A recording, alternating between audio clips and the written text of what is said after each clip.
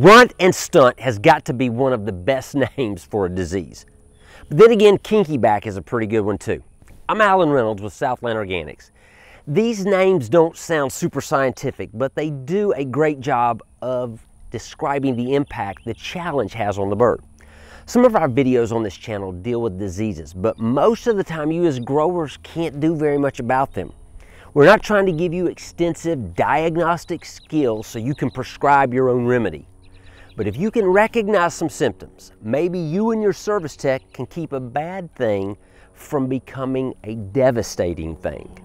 Hey, if you find this video helpful, why not give us a thumbs up and don't forget to subscribe and even hit those notifications so when we do pop these out, you'll get your notification. Runt and stunt is also known as malabsorption syndrome. Just like many of the issues we talk about, a lot of it boils down to nutrient absorption. This challenge actually prevents nutrient absorption, so the problem is compounded. Nutrient absorption is what is needed to help the bird fight the virus slash disease, but the virus prevents nutrient absorption. The symptoms and mortality commonly peak about day 11, so this is an issue that typically affects young birds. There are numerous signs of runt and stunt, so much so that it would be hard to determine if they have runt and stunt or if they just have malnutrition except that there are so many different signs. Many of the birds will appear small and dwarfed. Normal uniformity of 70% or so can decrease to 35%. Slower feathering, pale beaks and legs. Sometimes the tips of the wings seem broken or twisted. This can be sometimes referred to as helicopter syndrome. Feed in the manure, huddling, it is not uncommon to see many of these symptoms as isolated situations, but when you see them together, then it could be a strong possibility that you are dealing with runt and stunt.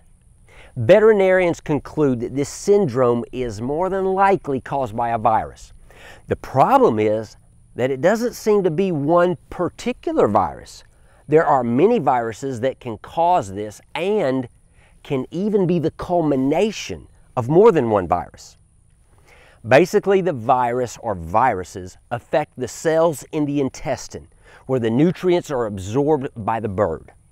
The intestinal walls become thin and semi transparent. It's almost like a science fiction movie. A virus that attacks the one place that can help the host defeat the virus. It's crazy. And as if that is not enough, infected birds will not recover and they probably will not die. At this time, there are no confirmatory tests or effective treatments. Now that we are all depressed and feel no hope, let's talk about how to move forward. This is transmittable, which means that we can try to keep other birds from getting infected. Many of these strategies are the things we already know to do. Biosecurity, keep stress low, airflow, plenty of water, the usual. Culling may need to be done more aggressively.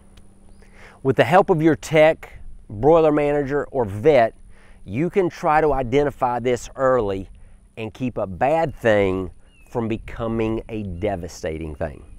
It is a rough challenge, but I'm sure many of you have seen it firsthand. We are starting to receive requests for certain topics for future videos. If you have something you think would be helpful for your fellow growers, please let us know and we will see what we can do. And if you have any questions, feel free to reach out to me at 1 800 608 3755 or alan at southlandorganics.com.